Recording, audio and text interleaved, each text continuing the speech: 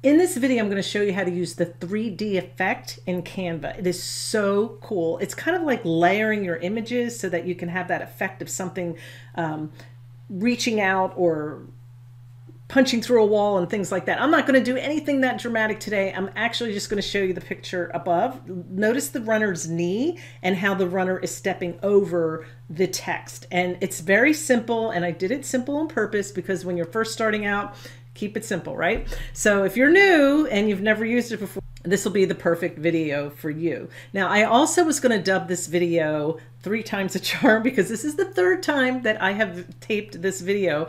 I am kind of multitasking. We are building a grain bin house in the front part of our property to build it up as a v- VRBO rental property. And the guys are up there right now um, getting foundation ready. And I just want to be up there, but I'm here. I have to work, right? I've got this to do and I work from home. So I've got my other work to do as well. So I'm here, not distracted anymore. My reward for getting this right after the for the third time is I get to run back up there and get you some videos. So you'll be seeing that. I'm making a series on it on the process of how we're doing it and it's so so exciting.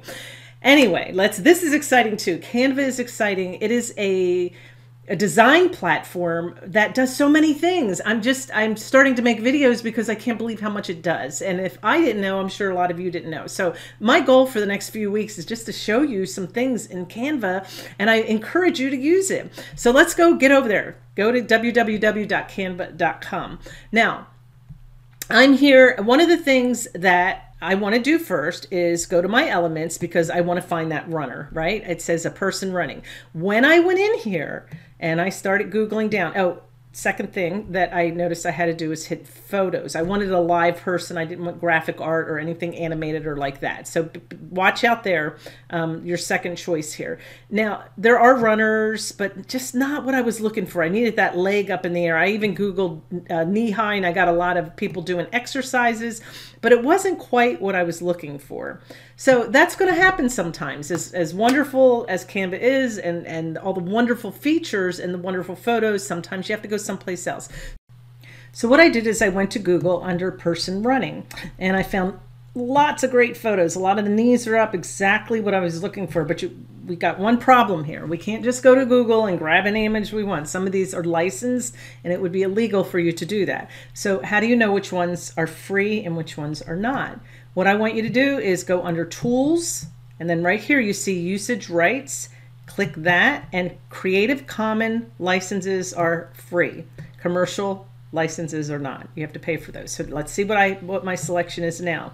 And I see a couple good ones here. And there you go. The one that I chose, you can see it right here. It does say licensable, but they do have it listed as common. So let's go back. And um, what you need to do is take that that picture that you found and download it to your desktop and then you're going to upload it back into Canva. And I've already got that done. So let's go back to Canva and go under my uploads here.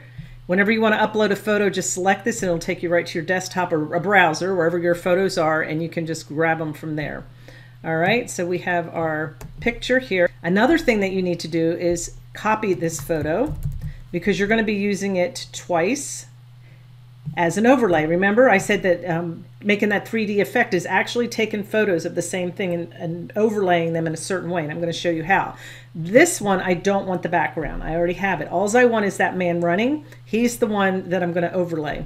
So I'm going to go over here where it says Edit Image, and then I'm going to remove the background on that one.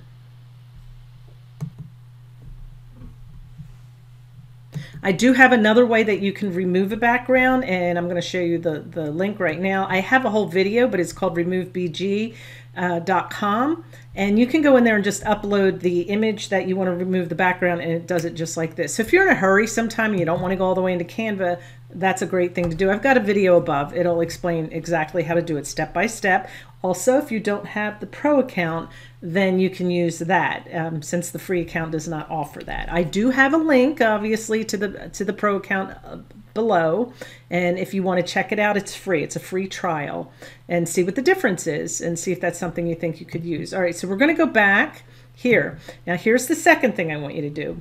When you look at this image, you're going to want to edit it um, as far as the saturation the brightness, the contrast. So let's go ahead and just play with that just a little bit. We're, that we're not here to really get a perfect picture as much as to understand how to do the 3D.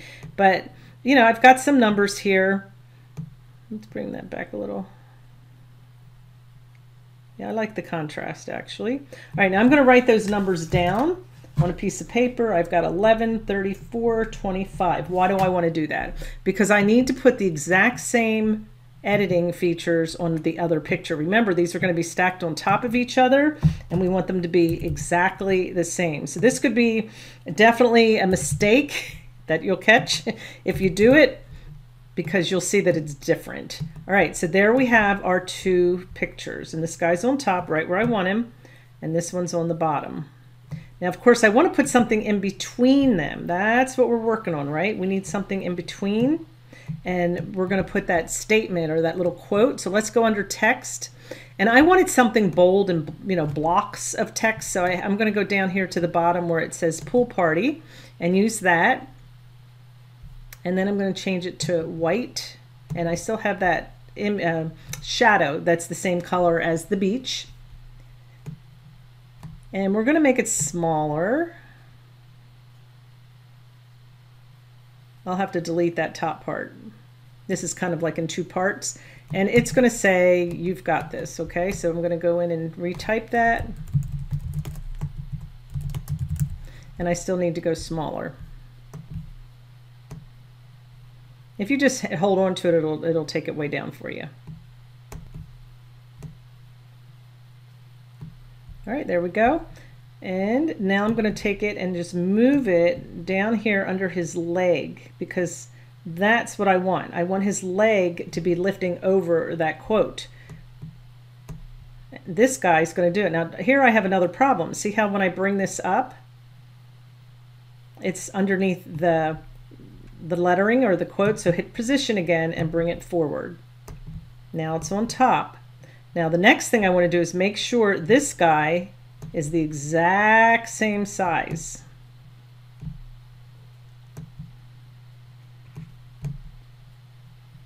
And you're going to lay him right on top.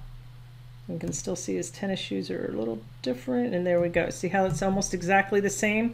Now, I don't want the back leg to be over. I want the front leg to be over. So what I'm going to do is click this photo and pull it in. Until